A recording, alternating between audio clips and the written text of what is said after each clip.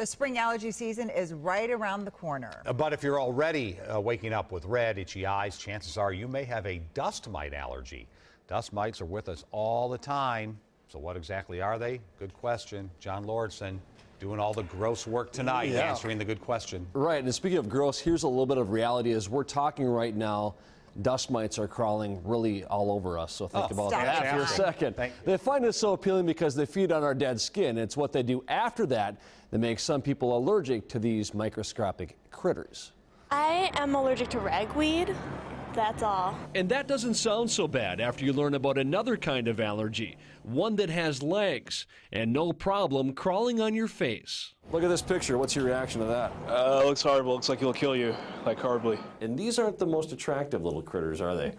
Yes, they're a perennial allergen and they're very small. You can't see them with your eye. You have to look under a microscope. And what you see isn't pretty. Dr. Nancy Ott has been an allergist for over 25 years. She says despite their appearance, dust mites won't bite us, but they are after our dead skin. They love humidity, so in your bed, they love it when you're snuggling up in your bed and they're having a, you know, a house dust mite party because they're growing and thriving. Are you okay with that? Not really. They also love carpet, upholstered furniture, and stuffed animals. But when it comes to dust mite allergies, it's not the mite itself, it's what comes out of it after it eats your skin. Unfortunately, it is mainly the fecal particles. Because the allergen is found on your pillows, red itchy eyes are a symptom. So is sneezing and stuffiness. Tree pollen sounds a little better to me. But there are ways to keep the dust mite allergy at bay, like not using feathered pillows and comforters. And you can put encasements around the bedding to sort of entomb the dust mite away from you. Washing your sheets once a week will also fight the allergy, but even then, you can't completely get rid of them. You're okay with that? You can coexist with these guys. Well, sure. You have to, right? Right.